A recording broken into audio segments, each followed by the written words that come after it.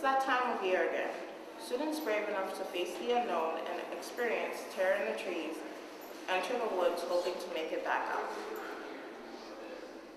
Terror in the Trees is an interactive event. It's a haunted path that um, actors come to and people go through. It was started many years ago with the Haunted Forest Association. Um, they sort of died out as a group, and then Mike Raish came along with the Interactive Theater Society, I believe, six years ago, and the tradition started up.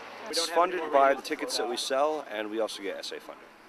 The fifth annual Terror in the Trees event continues this Halloween weekend from October 27th to the, to the 29th. It runs from 8 p.m. to 11 p.m. and takes place at the Ring Road Forest.